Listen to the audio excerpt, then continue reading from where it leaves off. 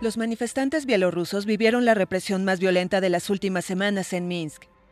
El domingo por la tarde, una multitud volvió a congregarse en la capital para reclamar la salida del presidente Alexander Lukashenko, pero la policía bloqueó calles y dispersó a los manifestantes.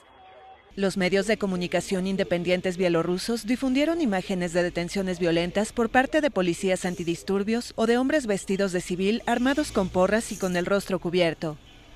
El Ministerio del Interior informó que se utilizaron cañones de agua y granadas aturdidoras.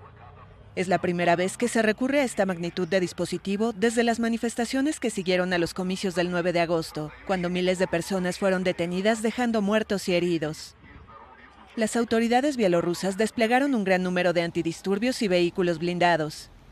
Igualmente limitaron el acceso a Internet desde los móviles y redujeron el funcionamiento del transporte público para entorpecer la movilización. El Ministerio del Interior no comunicó un balance de detenidos, pero la ONG Viasna documentó más de 250 personas arrestadas en el país.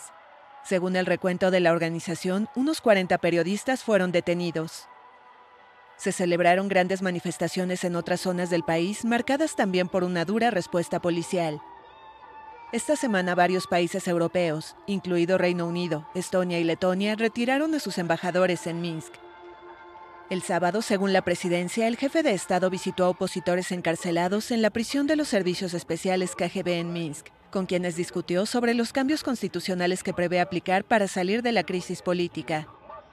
El inédito movimiento de protesta se desencadenó a raíz de las sospechas de fraudes masivos durante las votaciones presidenciales que dieron la reelección a Lukashenko.